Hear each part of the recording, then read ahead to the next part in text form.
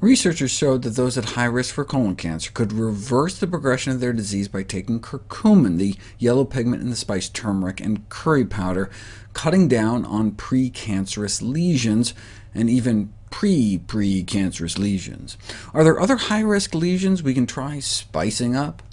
How about giving turmeric extracts to people who just had bladder cancer taken out, or have had early-stage squamous cell carcinoma skin cancer caused by arsenic exposure, or early-stage cervical cancer, or precancerous lesions in the mouth or the stomach? In about a quarter of the patients, the lesions started to get better.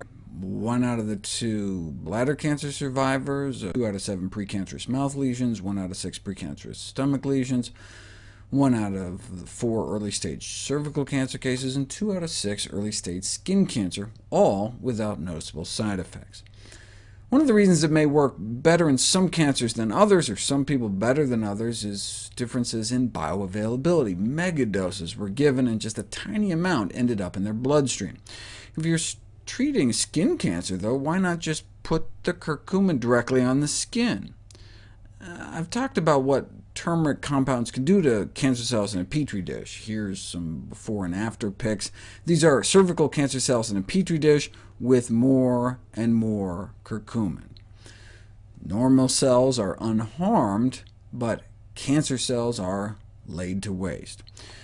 Yeah, but to make it to the cervix, curcumin must be absorbed unless a vaginal cream was invented. See, a variety of delivery methods have now been uh, devised. Besides intravaginal, there's also oral, intra-abdominal, intramuscular, under the skin injection, straight into the veins or the arteries, on the skin, up the bladder and the nose, breathed in like an inhaler, up where the sun don't shine, or straight into the spinal column, bone marrow, the tumor itself, or implanted somehow taken orally, some of it does actually get into the tissue. You can measure the amount of curcumin absorbed into the wall of the intestine by examining biopsies and surgical specimens taken after curcumin, after a curcumin regimen.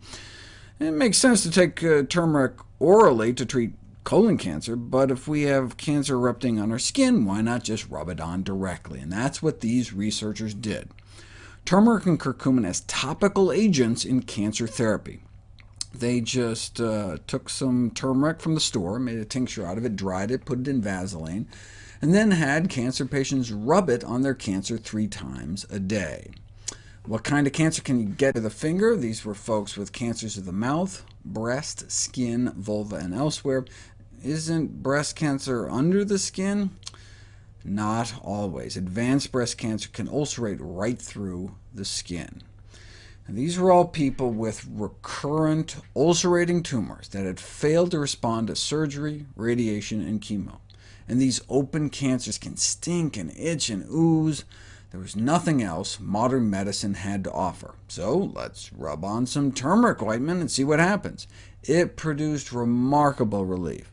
A reduction in smell was noted in 90% of the cases, even in extensively ulcerated cases of breast cancer and a reduction in itching in almost all ca cases as well, for example, relieving the severe itching in two of the vulva cancer patients.